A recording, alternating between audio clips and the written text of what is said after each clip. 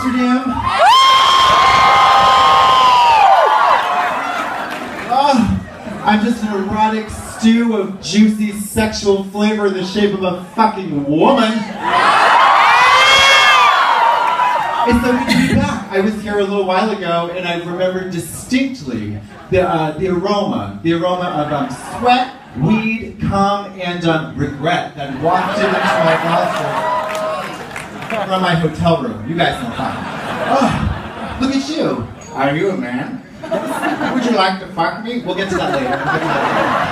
Um, now, this is the point in the evening where we, we put our minds on the shelf. Yeah, yeah. I mean, I know you did that for Lady Bunny too, but we have to, we tuck away our minds and we tap into a primeval, post, or pre-verbal sort of sensuality that is is designed to not only give us a boner, but a boner that we're ashamed of. Okay? Do you know about shame? Sure you do, Deborah. I see you. Um, now, this tour is unlike any other tour that you've ever been to because collectively, our ages are in like the, it's like, I think it's like a six digit number altogether. And um, I know what you're saying. You're like, what is she talking about? All I see on stage right now is the actress Charlize Theron.